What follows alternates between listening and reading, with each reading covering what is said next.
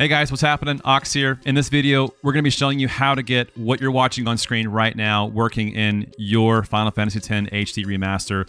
Uh, if any of you are playing, um, I don't know if it's just a Steam version or all versions of the game, I'm not sure, but most likely you've gotten that nasty green screen. It happened to me live on stream several times. I didn't have it fixed then. I do now. I want to show you how to get these CGs working. So the first thing, if you have the game running, the first thing you need to do exit the game because I was trying to actually do this tutorial guide with the game running in the background. It won't let you do that. So let's go ahead and do this together. If you are running the game, go ahead and quit out of the game, okay? Now, the first thing you want to do is you want to head over to this website right here. This is your four gigabyte patch. I'll put a link in the description box below so it's easier for you guys. Get to this link, click on the blue link at the very, very top of the screen. Should be patch 1.0.0.1 as of this recording. Click that, download it, quick file. It's going to be zipped. Your next uh, step is to put that zip file in the directory of where you installed the game. It's pretty easy. Steam users, go ahead and head over to your Steam dashboard here, right click Final Fantasy X HD Remaster, click on Manage, and then browse local files. It'll take you straight to where the game is installed at.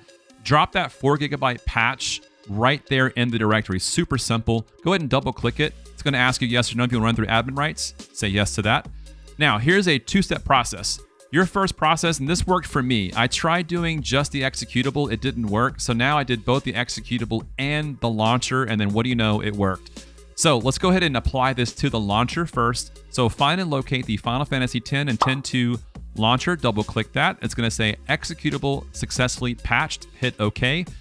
Do the step over again, double click 4 gigabyte patch, say yes.